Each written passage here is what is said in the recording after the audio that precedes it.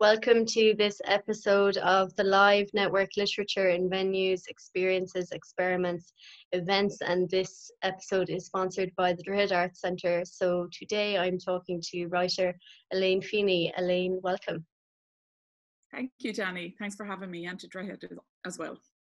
Um, we are technically celebrating your launch day, Elaine. I know As You Were was meant to be launched today. It's been pushed out given the situation, but nonetheless, congratulations. I toast you on that. Thank you. I'll toast back. the book has been listed on the Observer's top 10 debuts of 2020 so congratulations on that. That's great, Elaine. And obviously, personally, really enjoyed this novel. So it's a novel of secrets, Elaine. Obviously, the main protagonist, Sinead Hines, has the secret that she divulges to the magpie. Why doesn't Sinead tell anyone? Well, I suppose that's the big question that the whole book really um, hinges on. And I very i'm very personally connected to Sinead um, and i think i just imagined this young woman getting ill getting a terminal diagnosis. She's so busy and frantic in her life and i think that mirrors a lot of the way that we are now. And she has three sons and they're you know pre-teens and teens. And she gets this terminal diagnosis and she just bolts out of the hospital. And it really got me thinking about um, fight and flight. You know, there's always been a lot of talk about fight and flight and people's responses to really tragic news and people's responses to personal news.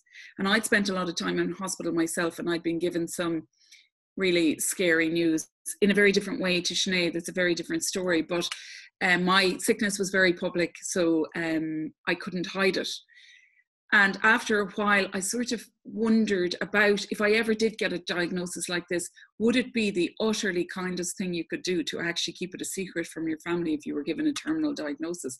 There is no right or wrong answer to the question, but it has elicited so much, I suppose, not backlash, but even one of my friends, she said, um, we were out for lunch one day and she said, you mean you can't do that? You couldn't hide a diagnosis like that from your husband. It would be the utterly betrayal of your relationship.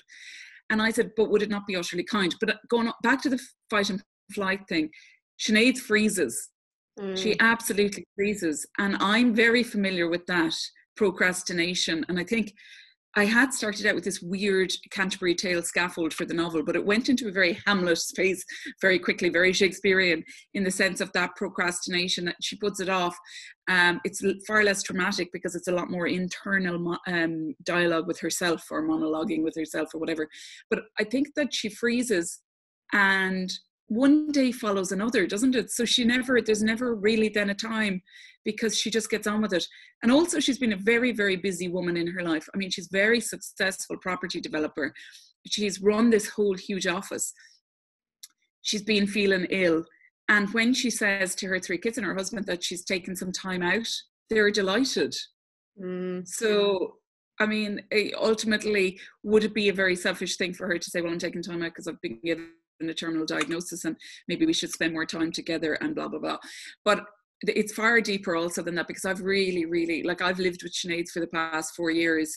And there's times I love her and there's times I really loathe her. And there's times I want to shake her and say, Will you please tell somebody and get help?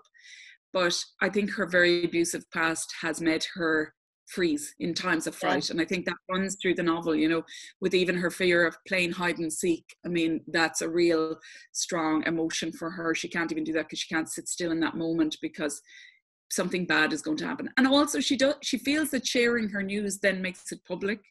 And then you're a public sick victim. You're no longer the strong woman you were before that. Um, and I think that's particularly true of people that are ill. I think they're then given the tag or the label of being sick, and they're no longer who they were before that. Yeah. And that would be my experience. And that's really frustrating. So maybe part of her wants to be, continue being this kind of dynamo whiz kid, part of her I think her relationship has got to the stage with her husband as well that it's not no longer an openly sharing relationship. Yeah. It ever was. Place, Perspective you know. on her own situation is quite funny. I mean, the book is is hilarious. There's so much humor in it. And I think early on, when she's been taken in the ambulance, and this is the first moment that we get to see that her fate is starting to unravel. And she comments that in the ambulance she can see her hip bones and she's delighted with the weight loss. And the whole way through the book, and I guess what she's witnessing in the hospital is definitely throw, told through a filter that is very, very funny. Um, and I don't even know actually, is that your voice or her voice, or maybe kind of a blend of both? You know, maybe a blend of both. Well, I mean, I, I I've really like heavily considered this question, um, whose voice, because I suppose I moved from poetry to give a voice to other people other than myself. But having experienced hospital, I think very much it's just the most bizarre environment. You know, um, I remember, yeah, whose voice is Sinead's voice?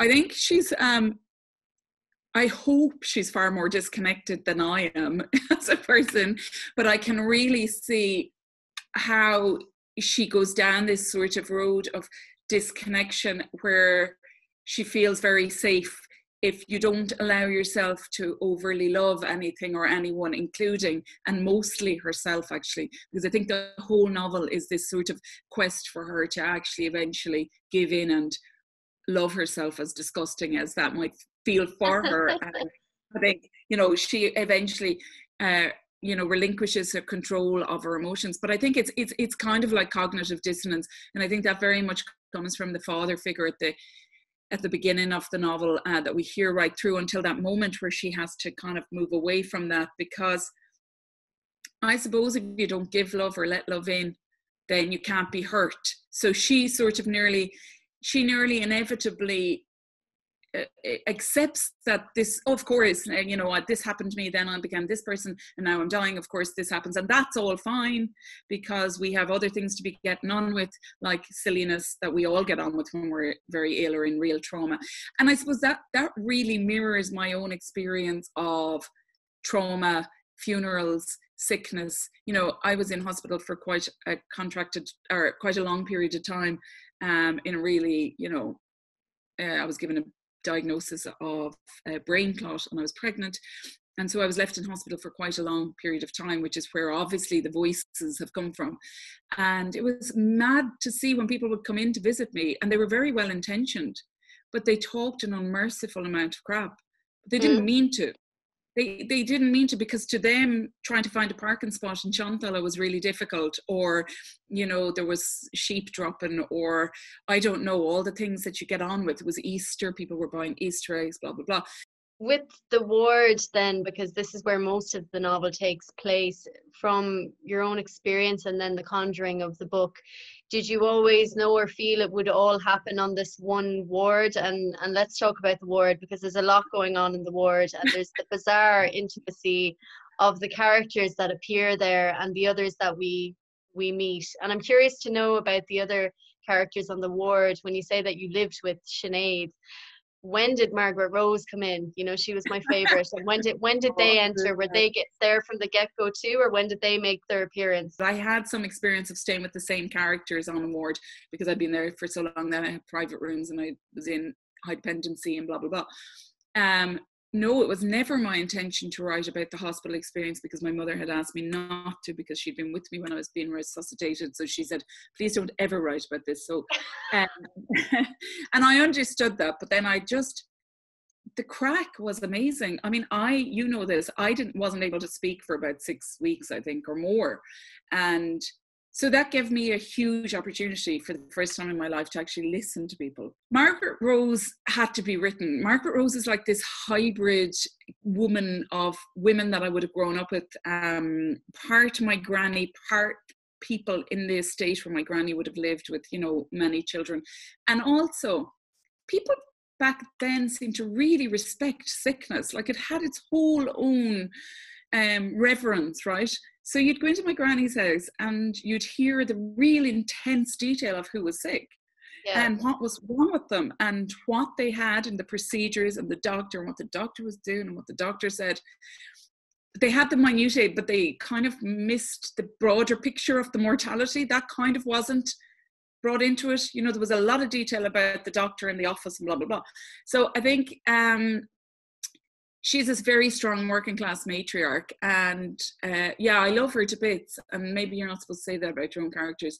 Margaret rose was very very strong and i when i started to write the novel i had like 12 chapters in the voice of Sinead but Sinead needed other women because other women are always in hospital with you helping you whether you want it or not like giving you your knickers and giving you whatever they have and they're very very funny Will you read a bit from the ward, um, some section, maybe the yeah. bit with Padre Pio? Uh, yeah, well, I did. Yeah, yeah, I'll do that. So this is chapter nine, and this is where um, one of the patients is, is seriously ill, and uh, there are two student nurses have been drafted in to look after him because they think he's going to die. So, and they all go to look for a cure. Um, Margaret Rose and Jane Lohan. Chapter nine. After lunch, two young student nurses arrived, attempting to open a bottle of bright orange energy drink between them. The taller of the two women held the bottom, while the smaller twisted the top off with her hand, curving her hips in the opposite direction. They began taking turns supping from the bottle, and the smaller woman opened out the window for air. Legend night. But OMG, that taxi driver, creepy. The smaller one had an arc of mascara underneath one eye and some silver glitter on the back of her hand. Monday morning rounds were underway in the late afternoon, and the trainees had been drafted in to keep an eye on Shane. There was some concern. It wouldn't be long. No, they had no idea how long. And no, neither of these young nurses in training had ever watched anyone die. Oh God, they might die themselves. What the fuck? What if they faint? OMG, poor man. It would be awful watching him die. They didn't feel they had adequate training for this, and instead of making them worried, this made them giggle. The energy drink came down the both nostrils of the smaller one. They took fits of discussing last night, checking Snapchat, and then standing ever so straight at times as though on sentry like duty. Is he dead yet? It'd be an ease to him. Yes, family called, but no sign of them. That's so sad, lit lol saws. Sorry, I'm just giddy. How will we know? His eyes are closed already. He's kind of cute, right? Right? He's lovely, isn't he? They decided he was lovely. I agreed. Lovely Shane. They gave him a bed bath to pass the time and make him more comfortable and maybe even blow dry his hair. And yes, they could use Margaret Rose's hair dryer. And no, don't wake her. And yes, she won't mind, and whisper thank you. Hearing is the last to go. Hankies, phones, Club Orange, energy drinks, crisps, rosary beads, and apologies. One of the nurses ran out for juicy fruit and then for hula hoops and salted popcorn. Sweet. His input was nil, his output was nil, his peg feeds had stopped. Jane woke Margaret Rose, and they searched deep in their nightstands, tugging out extra religious paraphernalia for the cure to save Shane. Margaret Rose was busy. This was the best way to be after Nikita's exit. Jane was busy as this was her only way. The search for this cure went in a hierarchy of inanimate but precious objects with head nods, and everything was displayed on the stripped, shiny mattress of Jane's bed like an eccentric May altar. The two women hummed and hawed as they pawed over beads, cards, plastic statues of saints full up with water, if they could only get in the mitten of Padre Pio, or a drop of blessed oil of St. Therese of Lisieux, or even a lock of St. Francis of Assisi's hair, even a hair from one of his pets. But they were unsure that Assisi had left behind any cure at all. But he was a lovely man, yes, lovely man, loved animals, they agreed. Margaret Rose put Michaela on the Nokia to someone in Navan who had the mitten of Padre Pio. She'd been given it for her son, who had developed itchy and incurable warts. And it would be sent down on the next bus with a trusted bus driver and hopefully make it in time for Shane. If not this evening, with any luck, it would arrive by the morning. Jane blessed herself backwards, which, according to Margaret Rose, was motioning in the devil. And Jane stared at her blankly, then began blessing Margaret Rose instead, misunderstanding the instructions. So we all blessed ourselves ten times at Margaret Rose's request, for fear we'd bring the work of the devil onto the ward and she encouraged a proper blessing. Michaela, her daughter, instructed us loudly that we should do it like the soccer players, and she demonstrated to her mother and Jane. They copied her and blessed themselves, kissed their thumbs, then lifted their kissed hands to the ceiling, thumbs clutched, and finally walloping their hearts. With the help of good God and of all his many archangels, especially the favourite one, Michael, or so they thought, although they weren't sure as to which archangel was the favourite, the glove would get her safely off the Navan bus. Brilliant. Thanks, Elaine. Thanks a million. Um, it's been lovely to chat. I know you'll be popping up in different places over the next few months, and people can get the book then when it's launched in August, as you were. It's been lovely chatting. Thanks again to the Droichead Art Centre and to Colette for sponsoring this episode of the series.